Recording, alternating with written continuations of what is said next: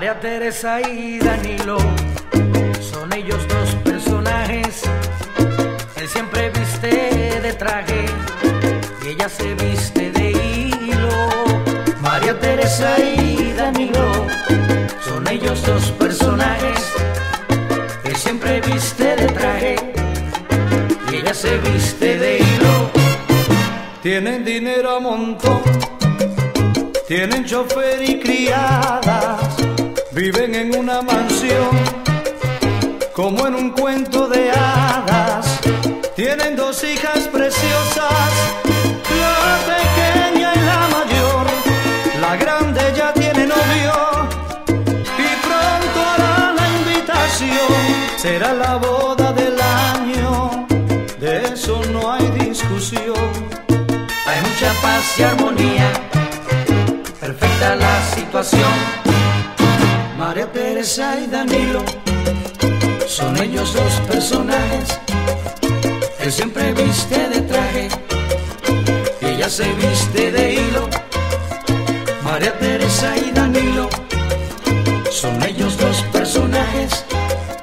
Él siempre viste de traje ella se viste de hilo.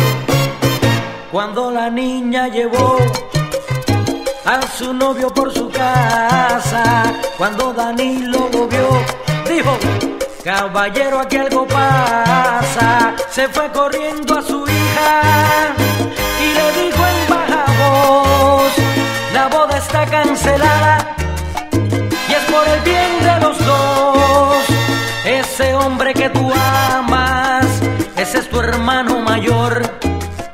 No se lo digas a tu madre para no causarle dolor.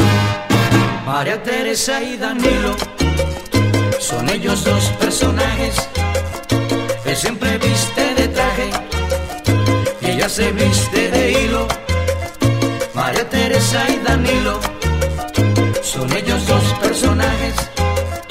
Él siempre viste de traje y ella se viste de hilo.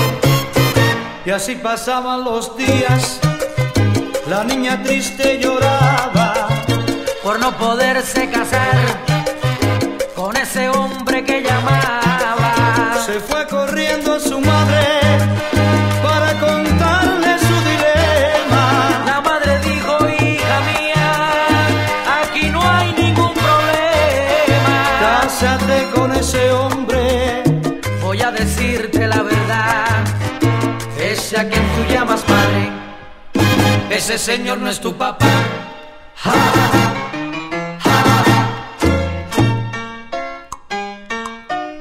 ¿cómo es la vaina?